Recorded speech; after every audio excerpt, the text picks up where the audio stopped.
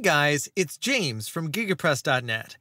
Today's video is brought to you by Breakdance, the modern visual website builder for WordPress. It's easy for beginners to learn and powerful enough for the most advanced professionals. Breakdance is loaded with features, including a premium pre-made template library, a robust form builder, AI content writing capabilities, a versatile pop-up builder, and seamless WooCommerce integration.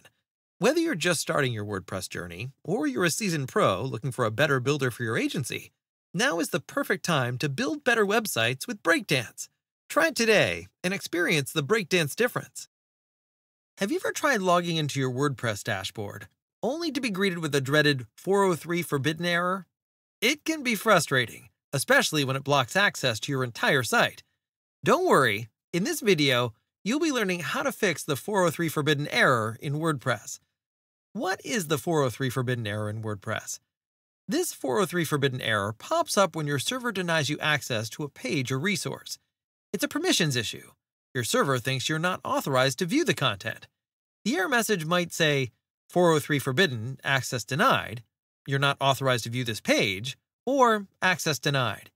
You may encounter the error while logging into the admin dashboard, browsing your site, or installing WordPress. So here's the step by step guide on how you can troubleshoot and fix the 403 forbidden error. Number 1. Check your file permissions. Your WordPress files need correct permissions to allow proper access. Incorrect permissions can trigger the 403 forbidden error. To check your file permissions, connect to your site files through File Manager or a File Transfer Protocol FTP client such as FileZilla.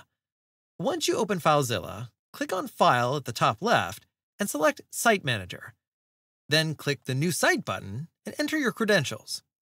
Once your site is connected, go to the root directory, often called public underscore HTML, and open the WP admin folder. Right click on the folder and select File Attributes. Folders should have a numeric value of 755. Make sure to check the box Recurse into subdirectories and Apply to directories only for folders. Click OK to apply the changes. Try accessing your site again. If the error persists, move to the next step. Number two, deactivate your plugins. Sometimes a plugin is behind the 403 error, but since you can't access your dashboard, you'll need to deactivate all your plugins manually. You can deactivate plugins through File Manager or connect to your site via FTP client like FileZilla. In FileZilla, once you've established the connection, click on public underscore HTML and open your WP content folder. Then select Plugins. Right click on the plugins folder and rename it to something like plugins underscore old. This action deactivates all your plugins. Then try to access your site. If you're able to log into WordPress, you know that one of your plugins is causing the error. So, you need to find the culprit. In your WordPress dashboard, navigate to Plugins and select Installed Plugins. Click on Activate and refresh the page between each plugin's activation. If activating one of these tools triggers the 403 forbidden error, you'll know it's the cause behind it. Then you can delete the plugin. Number 3. Remove and regenerate your htaccess file. Your htaccess file helps control how your server interacts with your WordPress site. If it's corrupted, it can block access and trigger the 403 error. To remove the htaccess file, connect to your server via File Manager or FTP. In the root directory, find the htaccess file and download a backup copy to your computer. Right-click on the htaccess file and select Delete. Now try accessing your site again. If the error is gone, you'll need to generate a new htaccess file. In your WordPress dashboard, find Settings, then Permalinks. Scroll down to the bottom and click Save Changes. This action will create a fresh htaccess file. Number 4.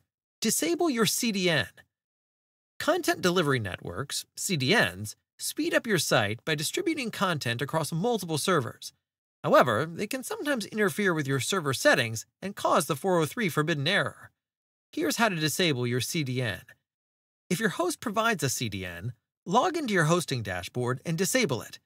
If you use a third-party CDN plugin, deactivate the plugin through File Manager or FTP. Follow the plugin deactivation steps from Method 2. If disabling the CDN resolves the error, contact your CDN provider to address the issue. Finally, at number 5, check your hotlink protection settings. Hotlink protection prevents other websites from using your media files, but if misconfigured, it can block legitimate access to your site and trigger the 403 error. To fix the issue, check with your host or CDN provider to see if hotlink protection is enabled. If it's active, ensure it's correctly configured to allow your site's content to load without restrictions.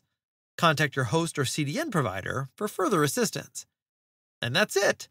Follow the five proven methods to fix the 403 forbidden error and restore access to your site. Check your file permissions to ensure they're configured correctly. Deactivate your plugins and reactivate them one by one to find any faulty tools. Remove and regenerate the htaccess file to eliminate corruption issues.